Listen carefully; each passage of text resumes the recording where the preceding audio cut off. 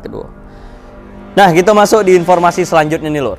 Ini ada sidang kasus dugaan korupsi pembangunan Puskesmas Bungku atas terdakwa Elvieni, mantan kepala dinas Batanghari, menjalani persidangan dengan agenda putusan oleh majelis hakim di Pengadilan Tipikor, Pengadilan Negeri Jambi. Dalam persidangan, Elvieni difonis bersalah. Kayak mana beritanya? Ini dia berita.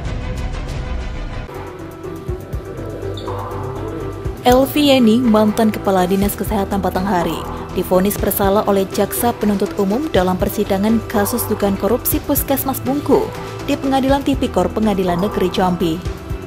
Dalam putusan yang dibacakan majelis hakim, Elvieni mantan Kadis Kesehatan Batanghari difonis 3 tahun penjara, denda 100 juta rupiah, subsidi 3 bulan. Elvieni terjerat perkara dugaan korupsi pekerjaan pembangunan Puskesmas Bungku, Kecamatan Bajubang, Kabupaten Batanghari. Proyek yang dinilai total lus oleh ahli tersebut mengakibatkan kerugian negara lebih dari 6 miliar rupiah.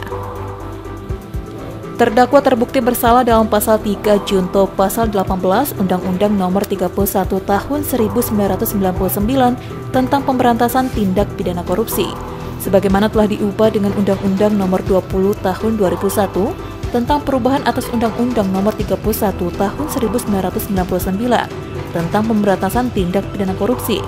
Junto pasal 55 ayat 1 ke 1 KUHP. Iqbal, Cek TV, melaporkan.